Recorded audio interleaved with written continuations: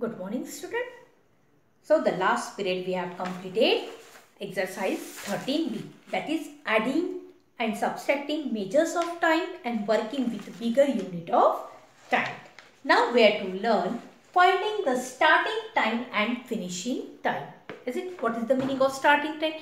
It means what we are doing the work that is the starting time and when we complete that work that is the finishing time. Is it? Everyone can go to market or to watch the movies. At what time? At what time it is will be finished? That we have to find out. Okay. So see that. To find the finishing time, first we can find the finishing time, last time. Okay. Ajay started collecting dabbas at 8.30 am. He finished 3 hours 32 minutes later. What time did he finish? What this is that Ajay started a collecting dabba at 8.30 am in the morning. And he finished his work in 3 hours 32 minutes. 8 hours 30 minutes, 3 hours 32 minutes. Okay. What time did he finish? The starting time is 8.30 and finishing time is 3 hours 32 minutes. To find out at what time Ajay finished collecting dabbas and he and we need to add the elapsed time to the starting time. It means we have to add both the time. Starting time plus elapsed time equals to finishing time. The time spent during an event or activity is the duration of the time or elapsed time. It means we can start, we can add this. 0 plus 2 it is 2 and it is 6 and it is 8 plus 8, 9, 10, 11. 11 hours 30, 62 minutes. But again 1 minute equals to 61 hours, sorry 1 hours equals to 60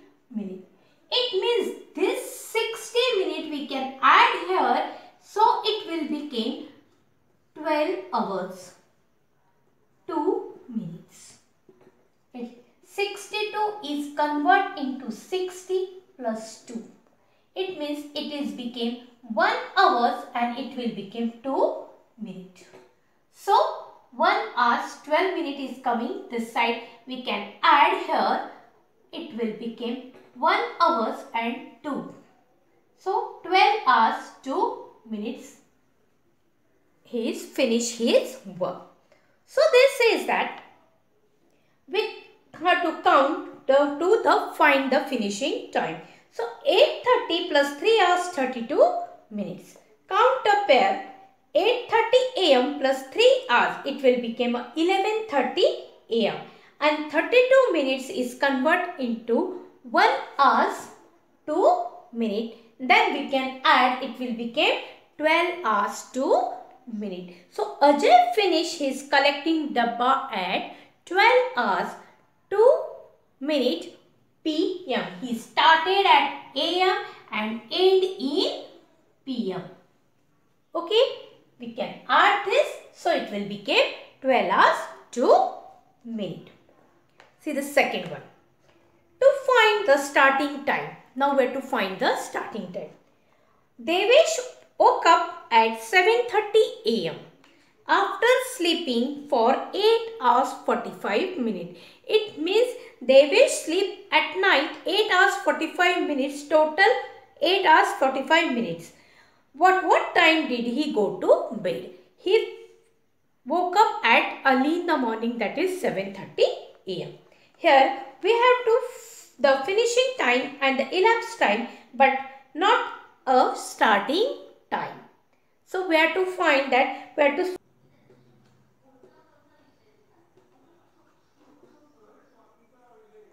find the finishing day. See that. Sudhir started his training as a Dabbewala on 17th August. Sudhir started his training as a Dabbewala on 17th August. He finished 33 days later. After 33 days, he finished his training. On which date did he finish? On which date did he finish? We have to know the date. So starting date is 17th August. Starting date is 17th August. Okay. And the duration is 33 days.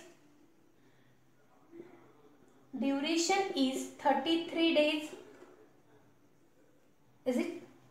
So, this says that starting date 17th August, duration is 30, uh, 33 days and finishing date. So, we have to calculate the starting date plus duration equals to finishing date. What is that? Starting date plus duration equals to finishing date. Finishing date. Okay. So, we need to count forward. Always go forward. To find the finishing date, we can't go at the part. So, 17th August to 31st August. August month is 31st. So, 17th August to 31st August. How many days is there? 17 to 31st. It is taking 15 days. It is taking 15 days. Counting both the days. 17, 17, 18, 19, 20, 21, 22, 23, 24, 25, 26, 27, 28, 29, 30, 31. Total 15 days. Okay. And remaining 33 days minus 15 days. So 33 minus 15 it is became a 18 days. 18 days is remaining. Is there? So they say that 18 days after 31st August takes at 18th from September month. So, so they finish the training in 18 September. In the month of September, we have to take 18 days. It means Sudhir finish his working his training on 18 September. Is it on 18th September? Okay. So, this is the finishing date. What does that? Sudhir has taken the training of Dabbewalas from 17th August he started. And 33 days training is there. So, 17th August he, he started. Duration is 33 days. So, starting date plus duration equals to finishing date. So, 17th August, the total days of August. Started from 17th August to 31st August, total day is 15 days. And from 33, 15 days we can minus, it is remain 18 days. So, 18 days we have to take from the month of September and that he finished his training on 18th September. Okay. So, see the second one. Finding the starting date. Now, where to find the starting date?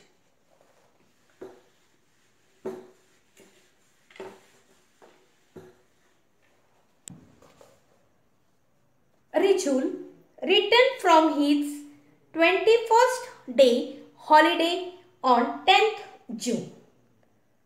When did his holiday uh, begin? It means that Rijul's uh, holiday is completed on, on 20, 10th July. Okay. So, in which and the holiday is 21 days. So, how many days on which date the holiday begin? We need to count back in part to find the starting date. 10 July to 1st July. It is 10 days. Okay. It means that from 10th 21 days on 10th July. 10th July ko complete. It is given the complete days is 10th July. So 10th July to 1st July it is given a 10 days. 10th July to 1st July. It is total 10 days. Okay. 10 July it is completed his holiday. So, we need to come then 21 days and 10 days. So, 21 days written minus 21 days from there. 10 days and 21 days minus 10 days. 21 minus 10 equals to how many days is there? 11 days. Is it? 11 days. 11 days before 1st July takes as 20 June. It means 30 June to 20 June it is 11 days.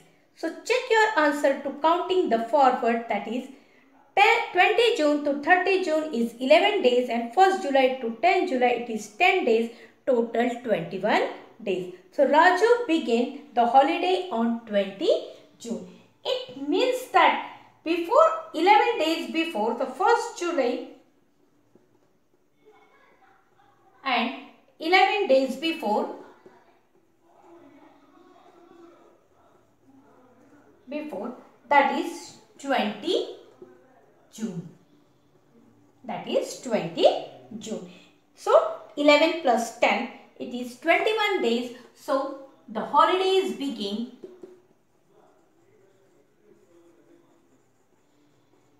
from 20 June. So total it is became 21 days. Okay. Exercise is given here from 13C but it is all are given in word problem so I will say on WhatsApp.